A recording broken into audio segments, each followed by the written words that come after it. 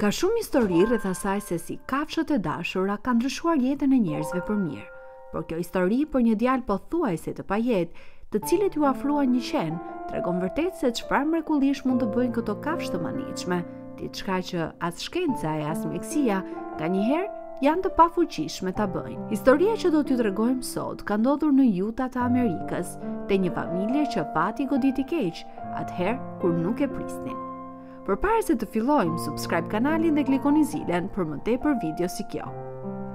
Familja Howard ishte një familje normale e përbërë nga babai Benny, gruaja e tij dhe tre fëmijët e tyre. Ata ishin një familje e lumtur me të vetmet argumente që kanë shpesh familjet normale.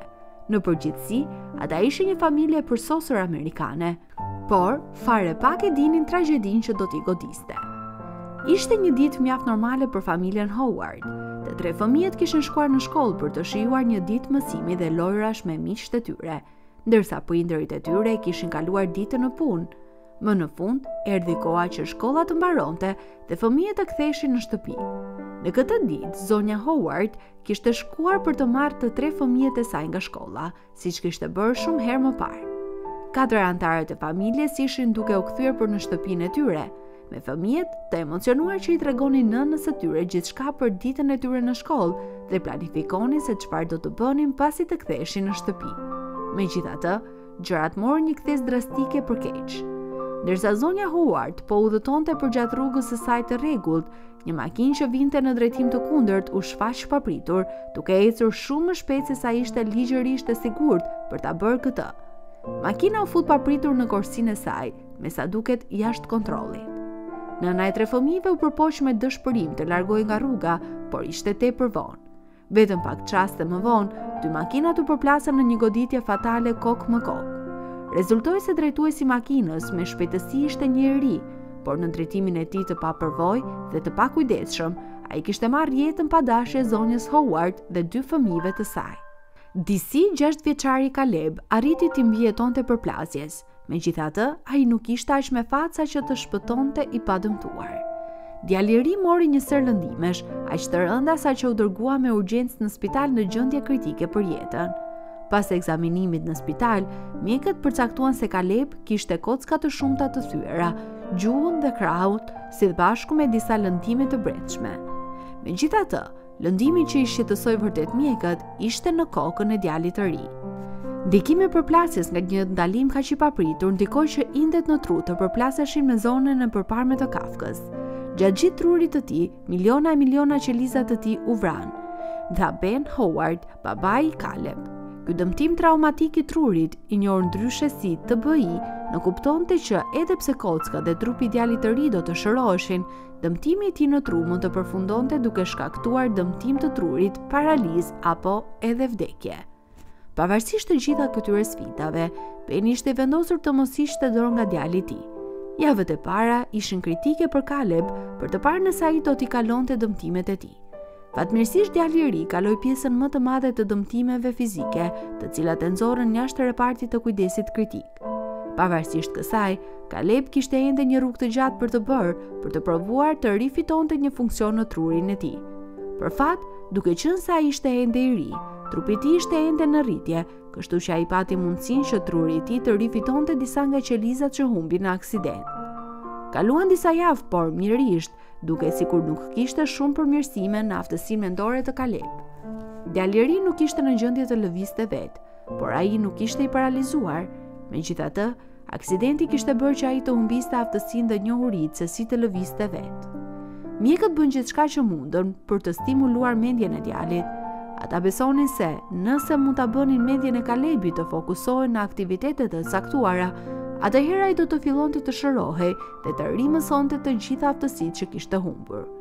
Kjo ishte një teknikë që ata e kishin provuar në pacientë shumë më të mëdhenj, dhe ajo kishte qenë e suksesshme në shumë raste. Si fillim mjekët do të përpiqeshin të stimulonin mendjen e Kalebit nëpërmjet aktiviteteve të vogla, të tilla si biseda me të dhe shfaqja e gjërave të thjeshta që mund të nxisnin interesin e tij. Por djali i ri nuk u përgjigj siç do të donin.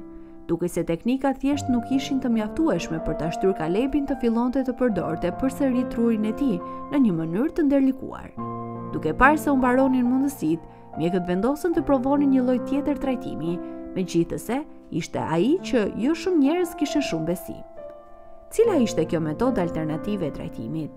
Epo, erdhi në formën e një qeni me katër këmbë, i cili kishte shumë dashuri për të dhënë.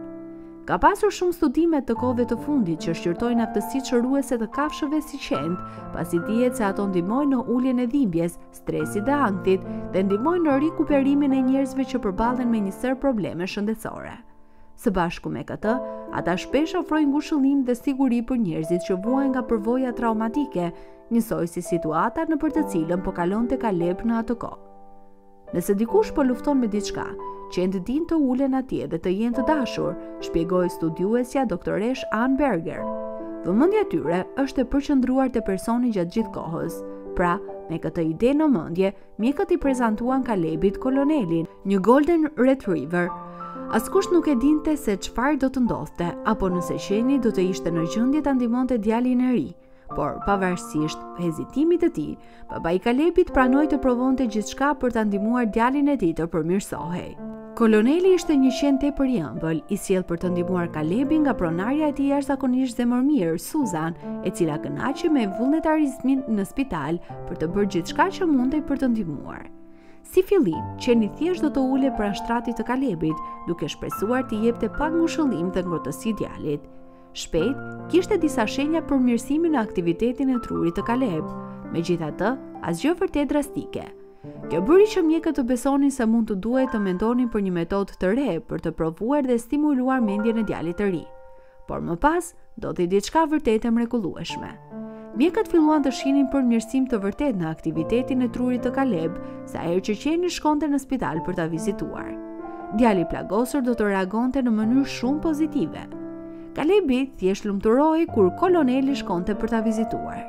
Rrahjet e zemrës së tij u rritën dhe funksioni i tij i frymëmarrjes u përmirësua.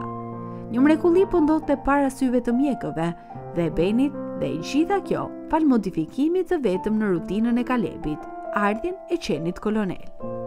Gjashtëvjeçari shpejt aktivizohej shumë më tepër, kur qeni do të shkonte për të luajtur me të. Ai do të donte të ulej dhe të bashkëvepronte me qenin e bukur. Me kalimin e kohës, Kaleb ishte në gjendje të zhvillohej gjithnjë e më shumë për sa i përket shqisave të tij motorike dhe funksioneve të përgjithshme gjithëpërfshirëse të trurit. S'kaloi shumë, djali i ri filloi të mësonte se si të lëvizte vetë dhe si të fliste. Mjafton të thuhet, ishte pak më shumë se një mrekulli që Kalebi po shërohej aq shpejt Dhe e gjitha kjo falë këmbguljes së qenit kolonel dhe mënyrave të tij qetësuese dhe ngushëlluese. Babai i Kalebit nuk mund ta besonte gjënë e mahnitshme që po ndodhte. Burri kishte frikë se do të humbiste djalin e tij, por falë punës së palodhur dhe natyrës së kujdesshme të qenit, dukej sikur djali do të ishte mirë. Qeni i zgjuar do t'i ofronte Kalebit mbështetje dhe rehati kur djali ndihej i dobët. Po kështu, ai ishte gjithmonë e lumtur të luante me fëmijën, kur ai ishte në humor më të mirë. Ngadalë, Kaleb arriti të rifitonte të gjitha funksionet e tij motorike dhe shumë nga aftësitë e tij të trurit. Sot, ai jeton me babanë dhe gjyshen, të cilët e duan me gjithë zemër. Por, për Kalebin, do të ketë gjithmonë një vend të veçantë në zemrën e tij për kolonelin, për gjithçka që qeni i mahnitshëm bëri për të. Ishte e jashtëzakonshme dhe pothuajse mrekulli se si qeni arriti ta shërojë djalin dhe ta ndihmojë aq shumë atij, atë që shkenca dhe mjekësia nuk po arrinte ta bënte. Çfarë historie e pabesueshme! Thjesht dëshmon se ndonjëherë jeta mund të na hedhë shumë fatkeqësi përpara, por për sa kohë që ne vazhdojmë të përpiqemi dhe kemi njerëz afër, e në këtë rast kafshë si ky qen hero, të gatshëm të na ndihmojnë, atëherë gjithçka është e mundur.